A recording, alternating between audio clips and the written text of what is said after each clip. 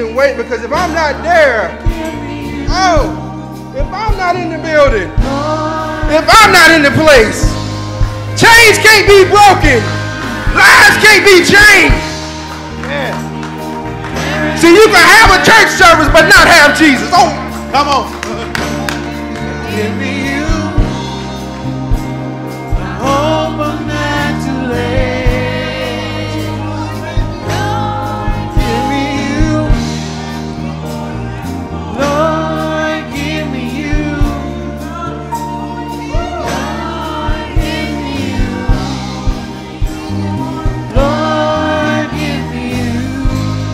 Father God, in the name of Jesus Christ, our Lord and Savior, Father, we just pray right now that you just dwell in this place, Father God. We break any barriers that may be in the place, Father God. We break any any fences that may be around somebody's heart, Father God. We just pray right now that you be in this building, Father God. We served Satan notice, Father God, that he cannot be in this place today, Father God, that you will reign over this service, Father God. So we pray that you remove any distraction, Father God. We just pray right now as an ambassador of the kingdom of God, God, that the kingdom can come down right now, Father God, in this place. God, here on earth as in heaven, this day, Father God, we want to see chains broken. We want to see your power, Father God, not our power, God, but most importantly, Father God, we want to see your spirit, the Holy Spirit, Father God. We just thank you right now for each and every person in this building right now, Father God. I pray right now you give them ears to hear, Father God. I pray that you give them a heart of flesh, Father God. Make their hearts soft and pliable, Father God. The day that they hear your voice, God, harden not your heart. Somebody's hearing you right now, Father God. Before they, we even get to the words, you're tugging on somebody's spirit right now, Father God, that they need to do some cleaning up in their lives, Father God. So we just thank you right now for your power, for your might, and for your spirit, Father God. We thank you right now for the pastor of this church, Father God. Lift him up right now, Father. Touch his wife right now, Father. We pray over his family, Father God. We plead the blood of Jesus over his life right now, Father God. Continue to keep him encouraged in Jesus' name, God. We thank you right now for his leadership. God, we thank you right now for who he is, Father God. We follow him as he follow you. So we thank you right now, Father. Holy Spirit, have your way, God. Move me out of the way and just use me as your vessel, Lord. I, I'm empty, Father God. So fill me so that I may overflow, Father God, and flow into your people. And God, that everybody's cup in here may be filled when we leave this place today. God, we thank you. We honor you. We love you. In Jesus' holy and righteous name we pray. Amen. You may be seated in the presence of Almighty God. I'm not going to keep you standing too long. God is good, isn't he? God is amazing. Pastor York, ministers of the gospel, deacons, visitors, members, friends, officers of the church, my beautiful wife, my mother who's in the back. We just thank you right now for being here with us this morning. I, I don't take this lightly that I can get before God's people and give his people his word because it's not about me. It's not about anything that I can do. Uh, I'm just a vessel. Thank you right now for my bodyguards that's behind me because if y'all try to jump me today, they got my back. So y'all might want to think twice before y'all run up on fresh fire. y'all give it up for our youth and children. Give it up for them. So thankful for them this morning. And as you've seen in the video, Fresh Fire, the invasion is coming. I hope you are ready. August 16th through the 18th, the invasion is coming. So y'all get ready, get ready, get ready. So I won't be before you long today. Preferably, we're gonna move how the Spirit move today, and we're just gonna do what He what He says do. Is that okay? All right. So I'm gonna give you the Bible. You want the Bible today? You want the Word today? That's, that's, that's all I'm gonna give you is the Word. I'm not gonna give you opinion. I'm not gonna give you my thoughts. I'm just gonna give you the Word. That's okay? All right. We're gonna get the Word. That's right. That's all right. That's what I'm talking about. We got some word seekers in here, so I gotta right my wrongs. I have to go back because I remember one time I was before you and. I, I, asked everybody to stand up if you wanted to receive the Holy Spirit, but I, I, I felt convicted because I said I, didn't properly explain in detail what truly the Holy Spirit, who He is. So God said, teach it to the young people. I it to them, that's why they're up here. They my bodyguards, I told you. We already, this is a review for them. All right? So they already know. So they're my bodyguards, so they're going to help me out. So, first off, who is the Holy Spirit? Notice I said who and not what. He's a person. The Holy Spirit is the third person of the Holy Trinity. You have God the Father, God the Son, which is Jesus, and God the Holy Spirit. All three ingredients are equally important to the Holy Trinity. So today we're going to give you the recipe for living in the Spirit, for a Spirit filled life. Is that okay? All right. You can go back and trace the Holy Spirit from the very beginning. In the beginning, God created the heavens and the earth. The earth was without form and without void, and darkness was on the face of the deep. And the Spirit of God was hovering over the face of the waters. See, the Holy Spirit convicts us of our sins. The Holy Spirit is a helper. The Holy Spirit teaches us, guides us to all truth. Say all truth. All truth. He guides us to all truth. He reminds us. Don't worry about trying to know the Bible from the front to the back because guess what? What good is that going to do you? The Holy Spirit will remind you. Now, you study His Word, you get in His Word, but don't be discouraged when you can't remember every single thing that's in the Bible. Because guess what? When the time comes, He'll bring it to your remembrance. That's what you need the Holy Spirit for. He's like a thumb drive. I read this Word and it's saved and download it into my spirit. So when this time comes, when a friend needs a word, when somebody's walking down the street, say, You got a word for me? Boom, pops up because it's in me. But you can't have it if you don't read his word. You got to get into this word and know what the word says because he can't bring to your remembrance what you hadn't read. All right, let me move on because somebody looking at me funny. But you got to get into that word. The Holy Spirit empowers us and he comforts us, right? The Holy Spirit equips the church with gifts such as word of wisdom, word of knowledge, faith, gifts of healing, working of miracles, prophecy, discerning of spirits, two uh, different kinds of tongues and interpretation of tongues. And while we are there, let's go ahead and talk about it. Tongues is your heavenly language between you and your Father. That's your vertical language. Now, if I come before you and I'm trying to preach in tongues, then I need an interpreter. But if I want to spend time with my Father, just me and Him, that's me and that's my heavenly language. I'm, I'm talking to my father. I'm not addressing you in that. So, so that's between me and him. Use it. Use it. 1 Corinthians 14 39 says, Therefore, brethren, desire earnestly to prophesy and do not forbid to speak in tongues. Let all things be done in decency and order. It's funny because I grew up, I always heard, you know, let's do everything in decency and order. Let's, let's be in order. But I never really heard that, that 39th verse kind of, you know, and it kind of bothered me because I'm like, we need to know the whole word of God. We don't need to cherry pick what we want to use. It says, therefore, brethren, desire earnestly to prophesy. Just because he used you to prophesy doesn't mean you're a prophet. As the Spirit, okay, we'll get, I'm getting ahead of myself. All right, let all things be done in decently in order. See, that's why Paul said in 1 Corinthians 12 that he doesn't want us to be ignorant concerning spiritual gifts. I think a lot of times we get confused because some people use the spiritual gifts ignorantly. Just keeping it real. But you have to try the spirit by the spirit. You got to be in that word yourself to know and be able to discern, okay, I know this spirit, and that is the spirit of God. But this spirit here, I don't know. It's strange fire. It ain't fresh fire. That's strange fire. Mm. You got to know them. You got to have them on the inside. Paul let us know that all these gifts come from the same Spirit, the same power source. The Holy Spirit distributes them as He will. See, my people perish for a lack of knowledge. You got to get in this word and know what He's telling us. Paul also let us know that love is the greatest gift of them all. See, you can have all the other gifts and do all these things and have a great following, but if you do not love, okay, if you don't love, nothing else matters. If you can't love God, people, if I can give you a word and call out your address and tell you your phone number and tell you what you did in kindergarten, but I don't love you, we got a problem. So, love is the greatest gift of them all. So, you may be asking yourself now do, do I need the Holy Spirit? Do I need them? You most definitely do. When you wake up in the morning, when you go to sleep at night, if you have breath in your lungs, if you are a living, breathing person on this earth, you need the Holy Spirit.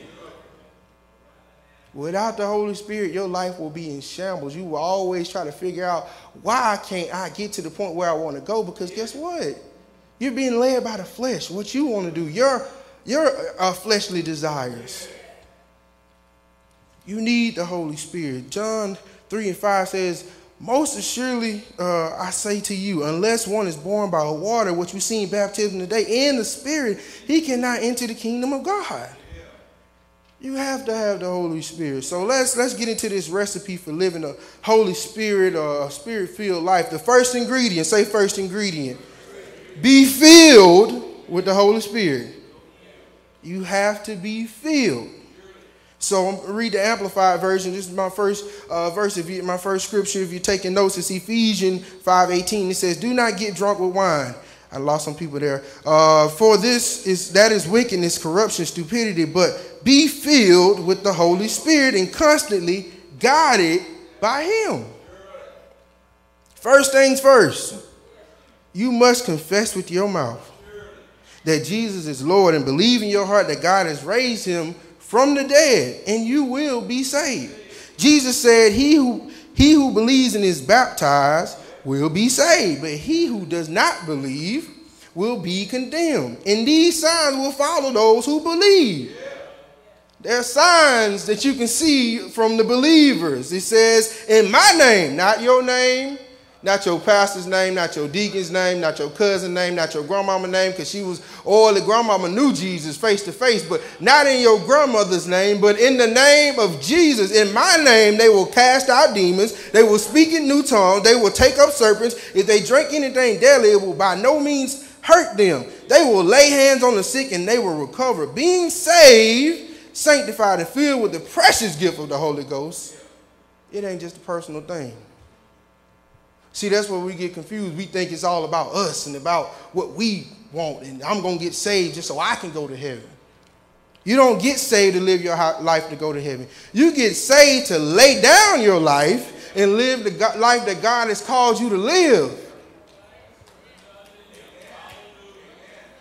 You lay down your life. See, I, a lot of times we think that, you know, it says, no greater love that has no one to lay down his life for a friend. How many times you didn't jump in front of somebody, one of your friends, and caught a bullet for them? Uh, how many times you didn't stop them from dying? You know, God is saying, look, no greater love, is what the scriptures say now, no greater love, no greater love has no one in this than to lay down one life for a friend. So Jesus is my friend. Pay attention. If Jesus is my friend, and I have a life that, that was given to me, guess what? No greater love than one that would lay down his life for a friend. I'm laying down my life for Jesus. I'm laying down what I want to do for Jesus. See, that's that's where we have to get as believers, as the body of Christ. You can't do whatever you want to do. I'm sorry to tell you that. I'm grown. I can do whatever I want to do. I'm grown. Can't nobody tell me nothing. But God is saying to you, look, that's my life. If you said, you said, uh, I believe in God, I, I became a member of this church, I, I invited God in my life, but guess what? I'm still do my thing. I'm still do what I want to do. God is saying, no, no, I paid it all. That's, that's my life. A life for a life. Let's move on. Sacrifice your will, your agenda, your life, so that you can be an ambassador of the kingdom of God. So now you have made this confession, you stated your belief, been baptized, laid down your life. Now it's time to add some obedience. Somebody say obedience. How many of you know that obedience is better than sacrifice? Being filled with the Holy Spirit requires obedience. In John 20, 22, Jesus breathed on the disciples and said to them, Receive the Holy Spirit. I'm gonna pause right there because that, that's really deep. And when I was studying, I was like, wow, God, you just revealed something in Walmart parking lot. Me and my wife sitting here going back and forth talking about the word, and it was just like God was just downloading. And, oh, it was amazing.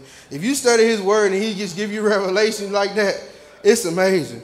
uh, it says receive the Holy Spirit. In order for someone to breathe on you, in order for someone to breathe on you, you have to be close to them. If I breathe right now, I don't feel. You feel the air conditioner, but you don't feel me.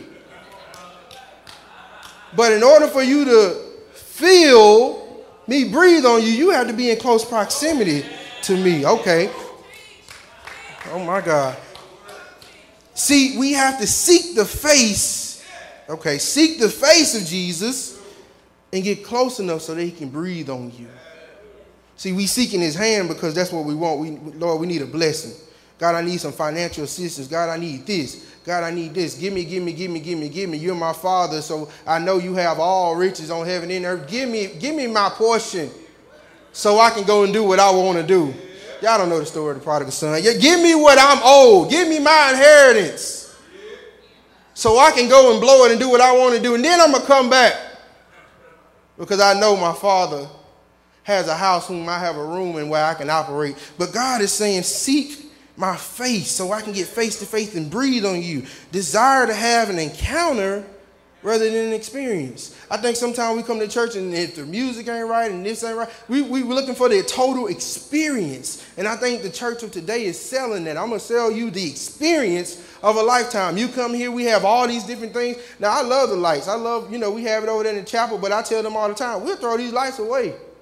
Because if we have all this and don't have Jesus, we ain't got nothing we had to have the foundation first. We have Jesus first. And then we can add all these other things. But say, I think some people add all these other different things, and, and we're going to have popcorn after church, and we're going to have coffee out there for you. We're going to have all these different things to get you here. But when you get here, you'll get an experience, but you will never have an encounter. Paul had an encounter. Paul had a real encounter. So desire to have an experience, a counter rather than an experience. So in John 20, 20 and 22, it says, Jesus breathed on them and said, receive the Holy Spirit. But they weren't filled until Acts 2. He said it in John. He breathed on them, received the Holy Spirit, but they weren't filled until Acts 2. Jesus commanded them to not depart from Jerusalem, but wait for the promise of the Father. The disciples had to be obedient and wait just as Jesus had commanded them to. Likewise, we must wait, we must go, we must move whenever the Holy Spirit tells us. You can't get what God has for you if you're out of position. Football season is coming up, right? Everybody love football. Roll Tide, War Eagle, whatever you like, go Jags, all that. If the center is out of position, the quarterback can never get the ball. If the receiver say, hey, I want to be a lineman today, the quarterback can never throw him the ball. Get in the position where God has told you to get. Stop trying to be like everybody else. If the hand say I want to be the foot, who will grab? If the eye say I want to be the ears, who's going to see? Be what God has called you to be. Play your role, play your position, know your position, and the only way you'll know your position is by having the Holy Spirit. Likewise, we must move, go, and, and move whenever He tells us to move. The Lord said, If you love me, keep my commandments. And I will pray to the Father, He will give, uh, give you another helper that He may abide with you forever, the Spirit of truth, whom the world cannot receive. The world can't receive it. Why not? Because it, they don't know Him. How can you receive somebody you don't know? But you know Him, for He dwells with you and will be in you. So be filled. Be filled with the Holy Spirit and constantly guided by Him. Once filled, always filled is not an accurate statement. And you'll see why. We must continue to be filled so that when we pour out, y'all know y'all supposed to be pouring out, right? Y'all know y'all supposed to be helping other people, right? You know that you're supposed to be using this spirit to help somebody else along the way. You know that you're supposed to be teaching somebody else. You know that you're not getting your, your, your infilling and keeping it. We must continue to be filled every day so that when we pour out, we can be refilled. My cup runneth over. And say? My cup running. How can your cup run over when you get filled? You take it and you hide it. I got mine, you better get yours. I got my Holy Ghost, where is yours? Okay, so if I if I take that same water and leave it right there on the desk, let's say for about 10, 20, 30 years and come back, would that water be drinkable? No, probably not, because it'll probably have all kind of different particles in it, things and settled on top of it, dust, mold, all that. Because guess what? Any water that's not moving is dirty. So you got your infilling and you kept it since 1987, and you ain't got it again. God is saying you need to constantly be filled because when that water comes in, other water comes out and it keeps us a purification system that keeps you pure, that keeps you holy. Living water versus dead water. That's dead water that you keep to yourself. Living water is water that you flow out to others. Being filled with the Holy Spirit comes with power. Say power. Power. power. We have power. We have to take advantage of it. Life without the Holy Spirit is a life without power. It, you, you can go to Acts 19 and see that they had powerless believers. They didn't know. How can you engage in warfare without the Holy Spirit? You can't. There's no way you can. Remember, we wrestle not against what? Flesh and blood, but against principalities, against powers, against the rulers of darkness of this world, against spiritual wickedness in high places. So, how are you going to combat spiritual weakness with your flesh? You can't. And that's why, if you don't have the Holy Spirit, that's why your life is looking like it's looking because you're trying to fix a spiritual problem with a physical solution. God is saying, look, you got to have me. You have to remove yourself from the situation. You have to tap into the source and be filled so that we can uh, be filled and have the power to live right, power to do right, power to talk right, power to, de to defeat your flesh every day. It's a daily battle. When you wake up in the morning, guess what? I got to beat this flesh into submission. And the only way I can do that is by the Spirit of God. Ingredient number two, we, we cooking now. We got the first ingredient. So what's the first ingredient? Be what? Be filled. That's the first ingredient. So second ingredient, be led by the Holy Spirit. Romans 8, 14 says, For, for as many are led by the Spirit of God, these are the what? Sons of God. For you did not receive the spirit of bondage again to fear, but you received the spirit of adoption, by whom we cry out, Abba, Father. Don't you know you've been adopted? Don't you know you have better? So when you when you receive this life, he didn't give you back over to bondage. He didn't give you back over to fear. See, being led by yourself or anything other than the Spirit of God leads to what? Destruction. God wants us not to not only be filled, but also be led. What good is it to be filled and you don't be led to do what he's telling you to do? In order to be a son of God, you must be born again. When you are born again and receive the Holy Spirit, it won't be a spirit of fear and of bondage. So for God has not given us the spirit of what? Fear, but the power of in love and of a sound mind. Where the spirit of the Lord is, there is freedom freedom. You can't get free from your situation because you don't have the Spirit of God. You're trying to fix it with all your worldly ways and your carnal thinking, but God is saying that's not how you do it. It may seem physical to your eyes, but God is saying this is a spiritual fight. Get on your knees. Read your word. Come and get close to me so I can breathe on you.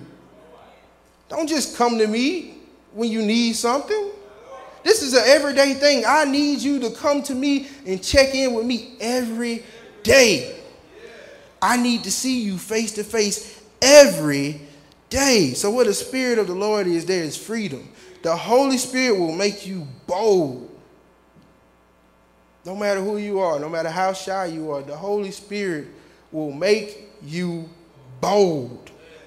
How do I know this? The word says in Acts 4 31. After they prayed, the place where they were meeting was shaken, and they were all filled with the Holy Spirit and spoke the word of God boldly.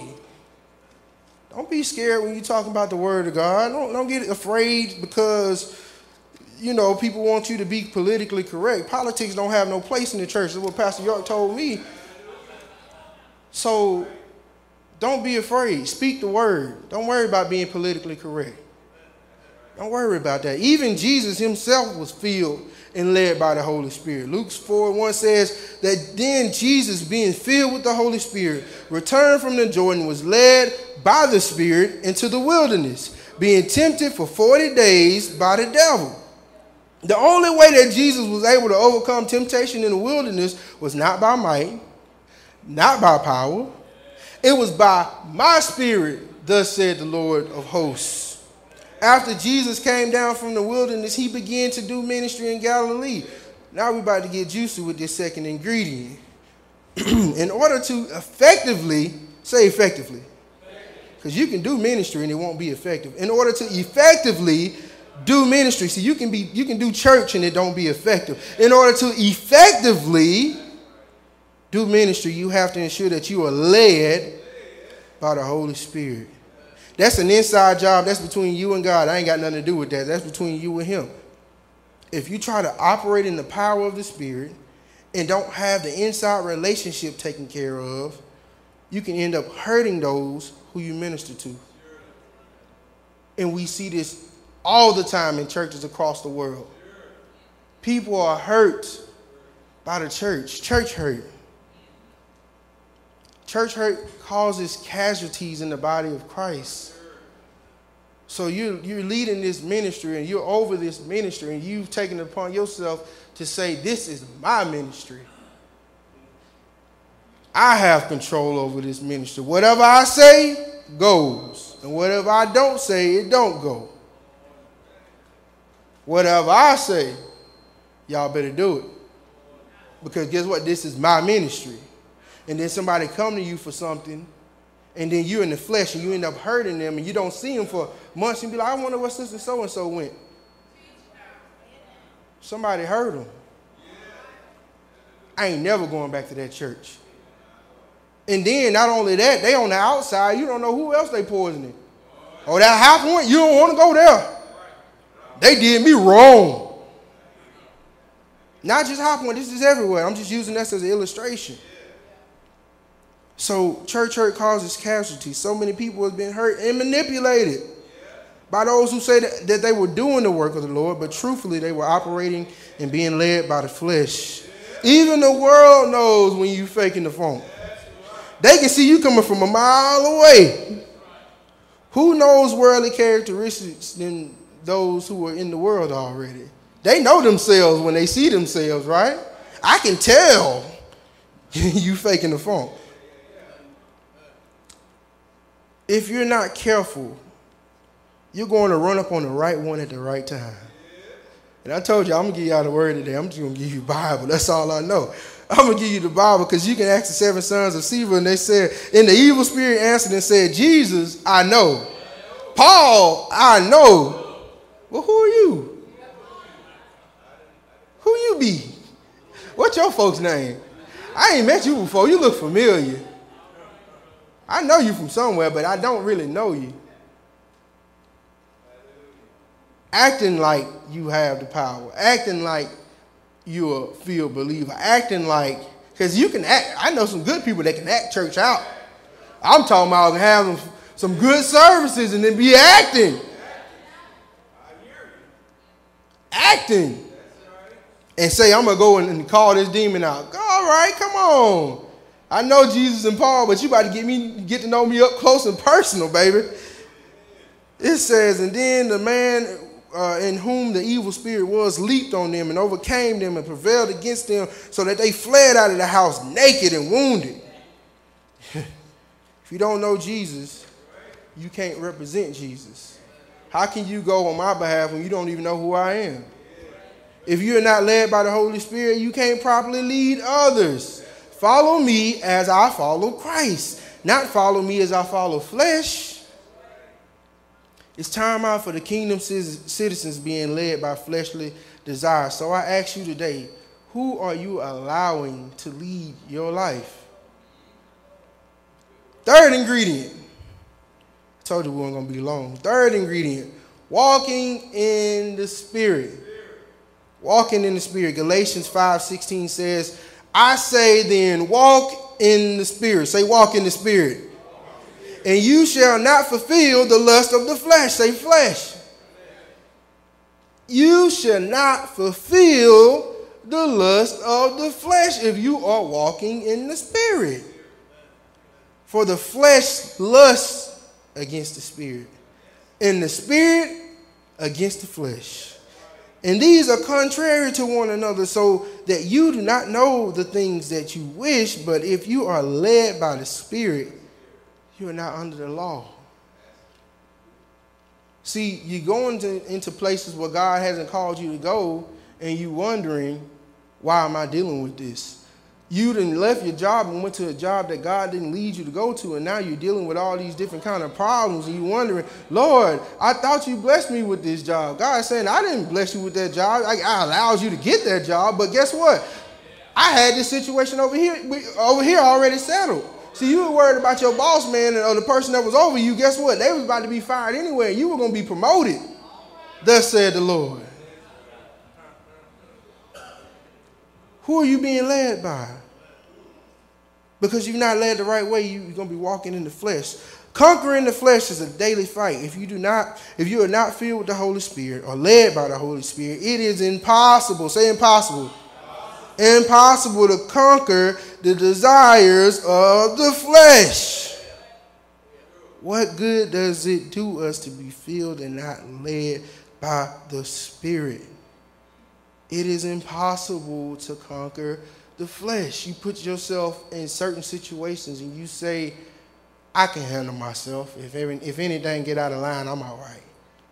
I can think, you know, a lot of these men in here don't lie. You know, when you were younger, I can be around her and nothing happens.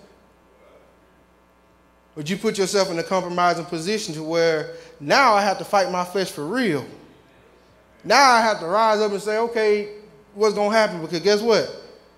Once you get that flesh a little, little bit, guess what? They, oh, it's gonna be a little harder to fight.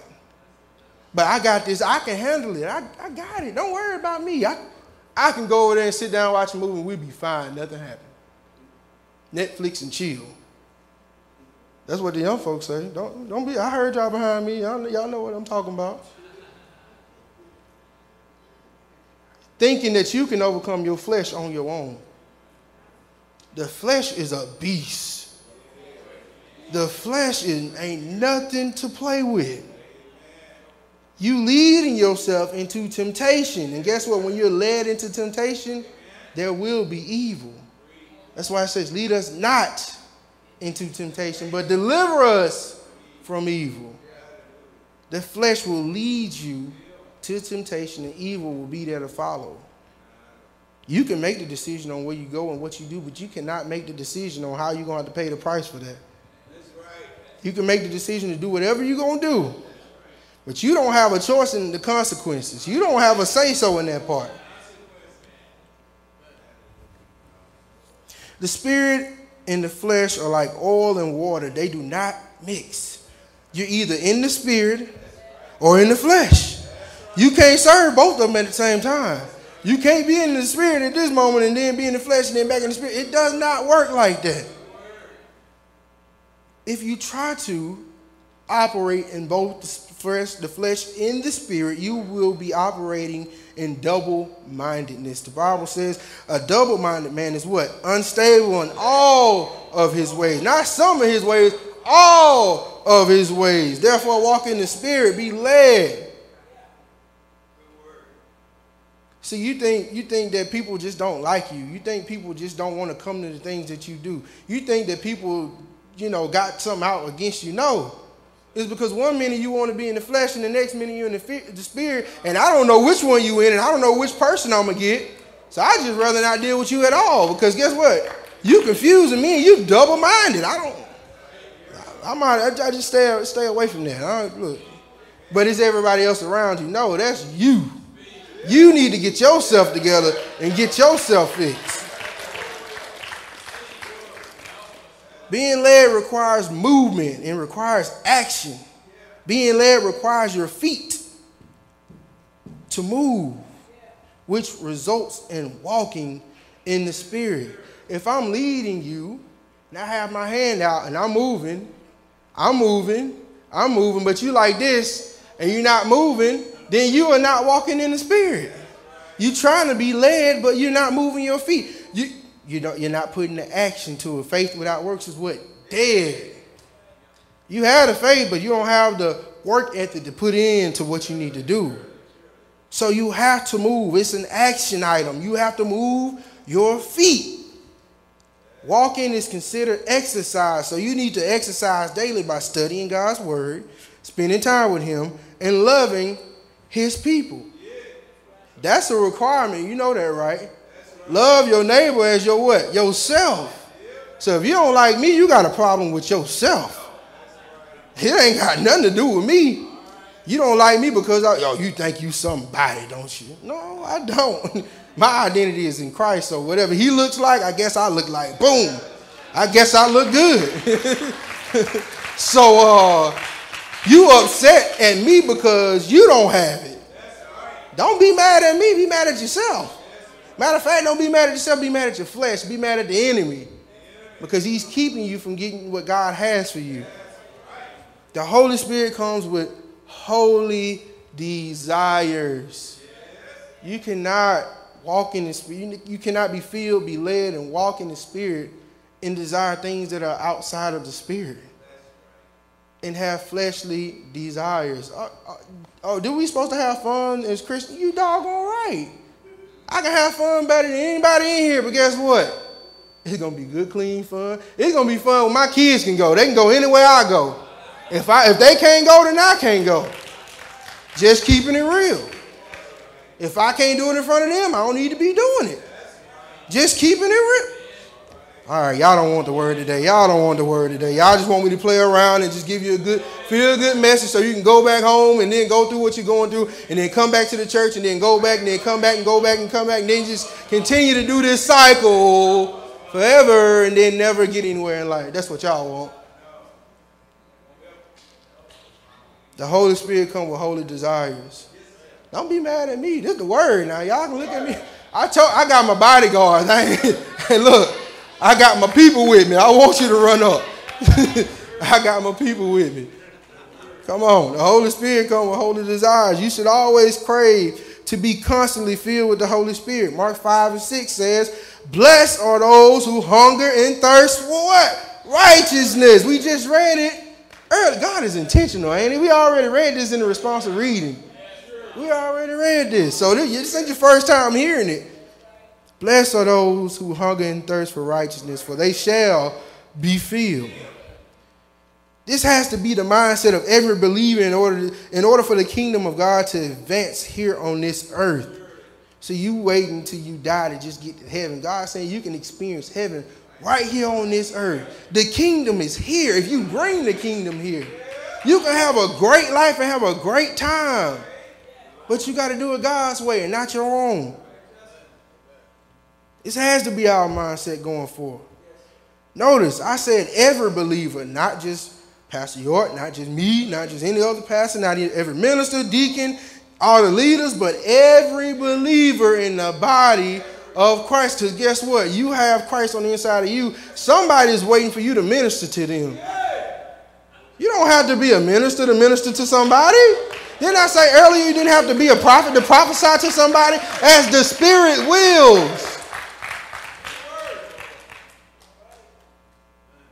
We going in our workplace, we going into our families, and we not changing nobody because we afraid or we don't want to speak this word that God has for us to give them. You have to change your mindset. This is for everybody. It, if y'all waiting on Pastor York to say the whole entire Eightmile, then it ain't gonna happen.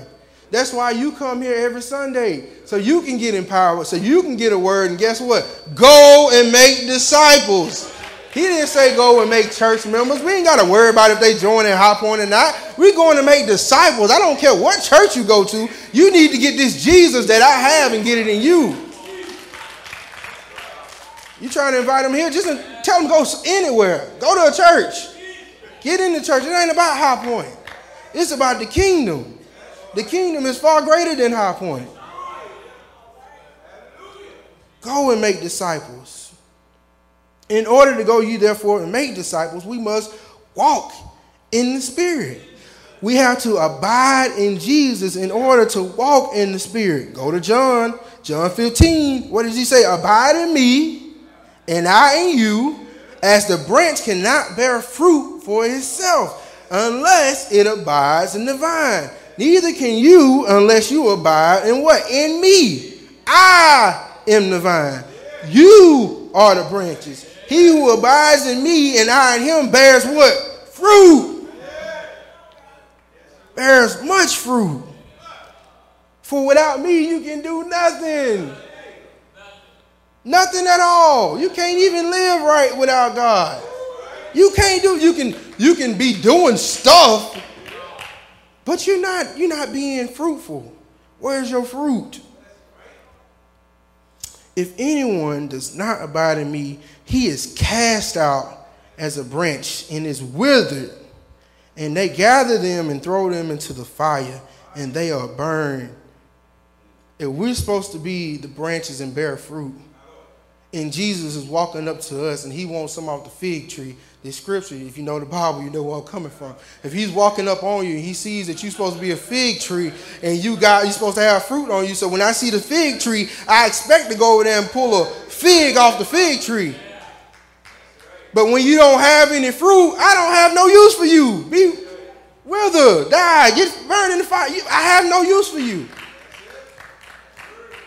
You are not bearing fruit. God wants us to bear fruit. Mm, God is working today. If you abide in me and my words abide in you, you will ask what you desire and it shall be done for you. Get out of your own way.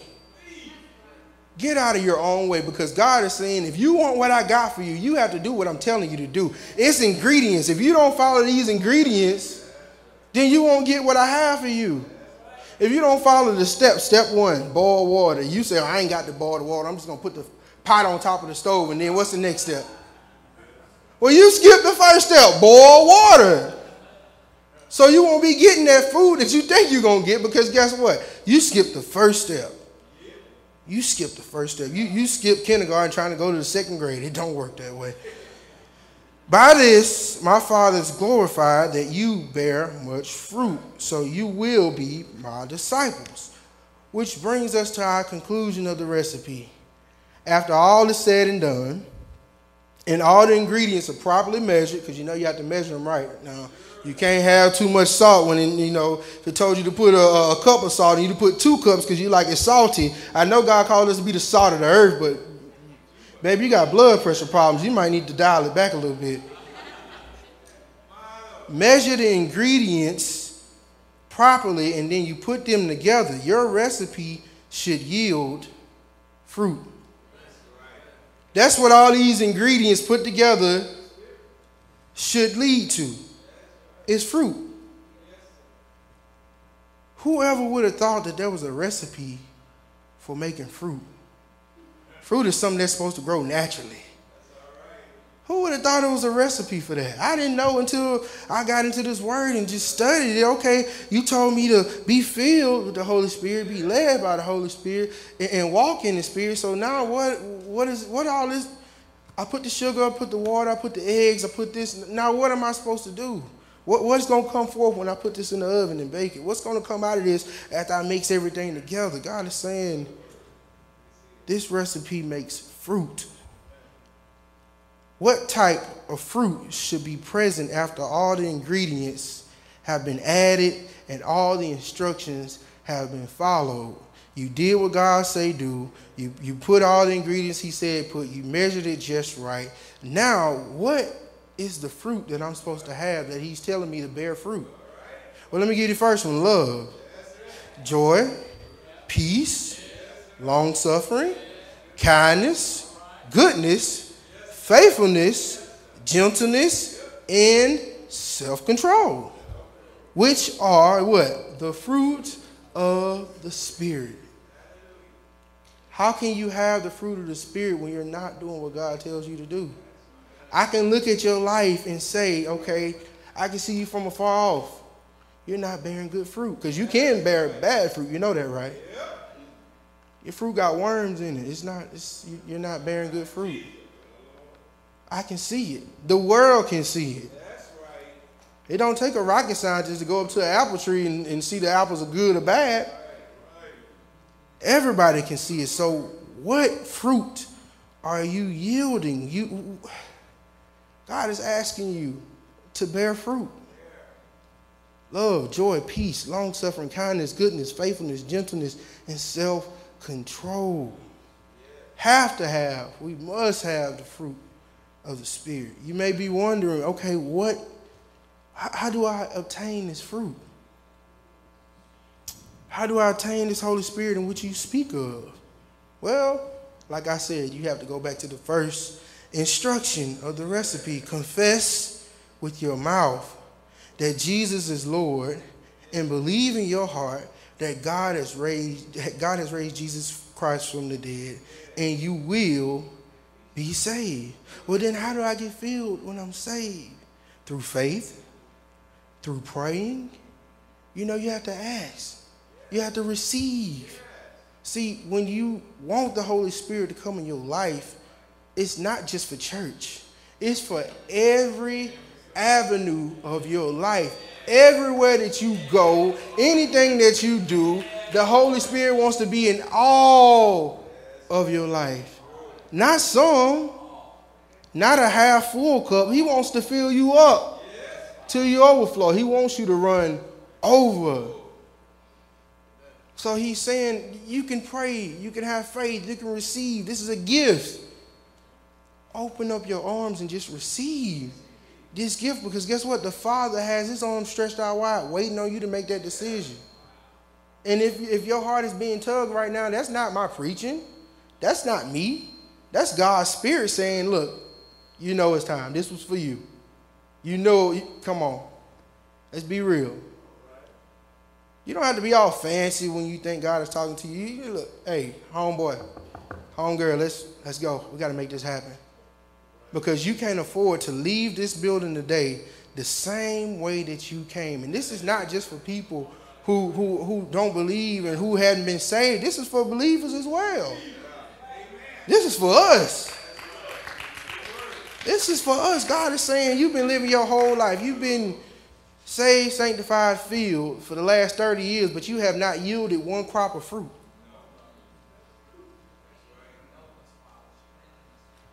That stops today. God is saying, come back home. You know what? It's cool. The first batch didn't come out right.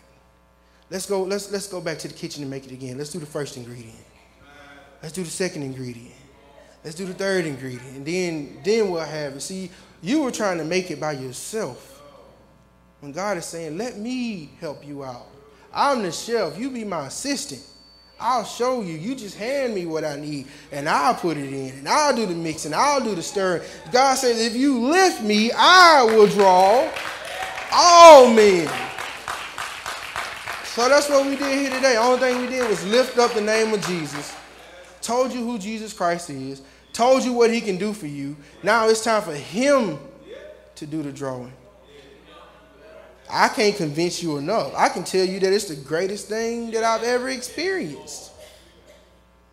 But you have to make the decision to buy into what God is saying, not what I'm saying. I'm just a vessel at the end of the day. Because guess what? His word is going to come forth, whether I'm preaching it or anybody else is preaching it. I can die today or tomorrow. Guess what? The word's still going to come. So, this is what God is saying to you. God wants you to make that decision today. The, the, the ministers and deacons can come at this time. It, it is time for you to make that decision, whether you want to have this recipe, what God has put in front of you. If you want to make the conscious decision to say, hey, I want to bear fruit. And if we understand, if you, if you caught the lesson today, the, the, the making of this recipe wasn't for you to eat, it was for others to eat. To come and take from your tree, your fruit. So this is not a selfish moment. This is a time where God is saying, My son, my daughter, harden not your heart the day you hear my voice. I know it may seem like I, I you can't go on. You, you came here today and you wanted to be set free. Well, I'm telling you right now, be set free. Make the first step. Make that first decision. The chains, the bondage, the family curses, all that can be stopped today if you give your life to Him. So now is your time.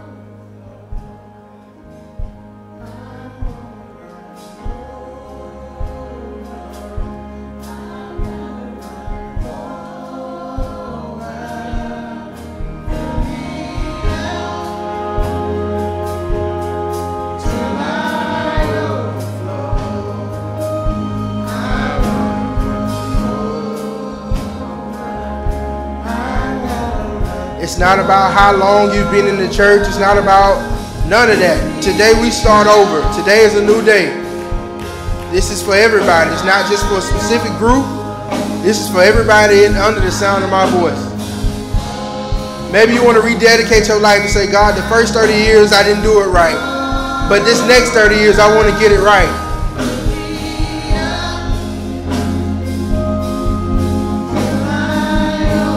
God desires to have you.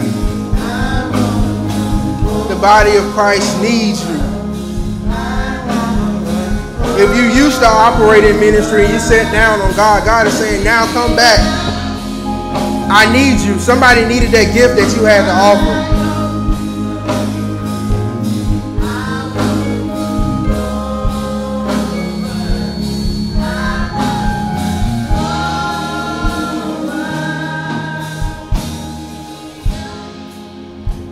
Is a great God. God is an awesome God.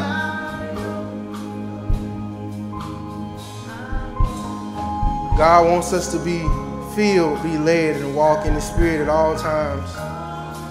And that's my charge to you today. And all that you do, be filled, be led, and walk in the Spirit. If you desire special prayer, if it's something that you may be going through, come down after service and we'll be here waiting for you with open arms. No matter what the situation may be, no matter how big, how small, we want to touch and agree and, and, and, and touch you and let you know that God is in control. God is still God.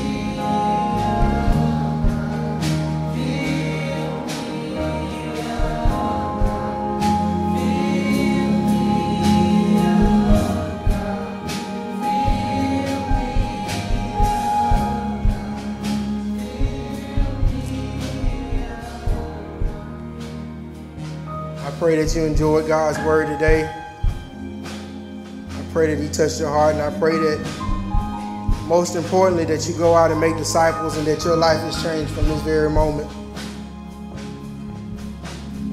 I thank you for coming, and we pray that you come back again. And next time you come, bring somebody with you. Bring a family member, somebody that you know needs to hear the word of God. I'm just going to pray over us real quick. Lord, we just thank you right now for what you've done in this service today. We thank you right now for the words that you have brought forth, God. We just pray right now that you just touch your people, Father God. Cover them with the blood of Jesus Christ, Father God. Let them get close to you, Father God, so that you can breathe on them, Father God, that they can receive the Holy Spirit each and every day of their lives, God, that they are constantly being filled each and every day, Father God, so they can pour out, Father God, to do what you would have them to do, Father God. You said in the last days, I will pour out my spirit upon all flesh, and your sons and daughters will prophesy, Father. We just pray that you pour your spirit out in this place, Father God, and that your spirit goes with everyone under the sound of my voice from this day forward, Father God, that they go home and evaluate their lives and after they think and say, okay, I didn't follow the instructions the first time, but God, let, let me get in my secret place with you and let's start over. God, we thank you so much for all you've done, God. We just thank you for what you're doing here at Highpoint, God. We love you. We thank you. In Jesus' name we pray. Amen.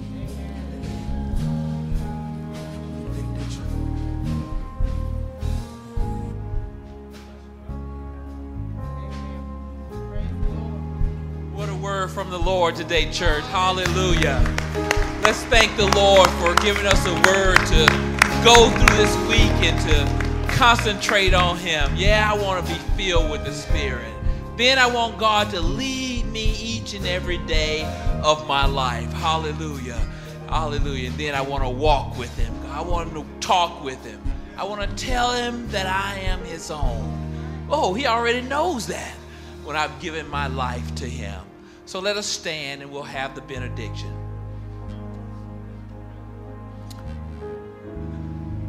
Let us bow. Father, it is in the name of Jesus we thank you. Thank you for visiting us today. Hallelujah. Who is the Holy Spirit? God, He's the triune God. Hallelujah. That lives and dwells among us. So, God, be with your people this week, God. Let us be inspired, Lord. Amen. To go out and, and share the gospel of Jesus Christ, not just with our words, God, but with our very lives, with our very trust, and with our very faith in you. Now, watch over us and keep us, prosper us in every place. God, we love you today. In the name of your Son, Jesus Christ, we pray. Go in peace. Hallelujah and amen.